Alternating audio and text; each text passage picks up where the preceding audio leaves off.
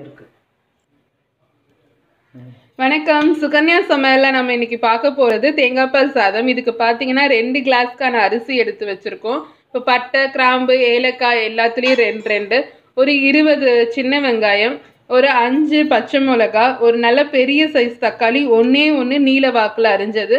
ஒரு கப் அளவுக்கான புதினா நாலு கிளாஸ் தேங்காய் பால் இஞ்சி பூண்டு விழுது தேவையான அளவு உப்பு தாளிக்க எண்ணெய். வாங்க இப்போ இந்த சாதத்தை எப்படி செய்யலாம்னு பார்க்கலாம். இப்போ நம்மளோட குக்கர் நல்லா காஞ்சிருச்சு. இப்போ தேவையான அளவு எண்ணெய் ஊற்றிக்கலாம் எண்ணெய் நல்லா காஞ்சதுக்கு அப்புறமா நம்மளோட கரம் மசாலாவை போட்டுக்கலாம். இப்போ எண்ணெய் நல்லா காஞ்சிருச்சு. இப்போ நம்மளோட ப கரம் மசாலாவை எல்லாம் போட்டுக்கலாம். இப்போ இது கூட ஒரு அஞ்சு முந்திரி ஒரு பத்து முந்திரி போட்டுக்கலாம்.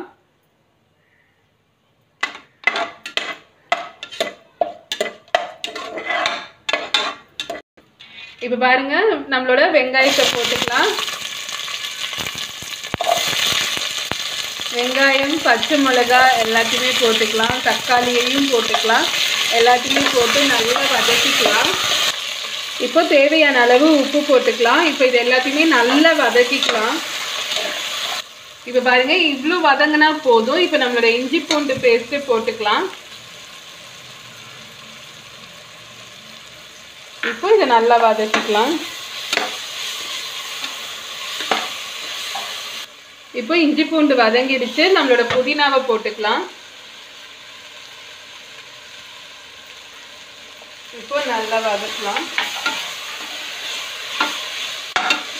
தேங்காய் பால் சாதத்துக்கு எண்ணெய் கம்மியாக விட்டு செய்யுங்க. ஏன்னா தேங்காய் பால்ல இருந்து எண்ணெய் வரும். ரொம்ப எண்ணெய் ஊற்றாதீங்க பாருங்க சூப்பராக வதங்கிட்டு இருக்கு. இப்போ ஒரு கிளாஸ் அரிசி இதில் அதனால வந்து ரெண்டு கிளாஸ்க்கான தண்ணி ஊற்றுறோம் ரெண்டு கிளாஸ் தேங்காய் பால் ஊற்றுறோம்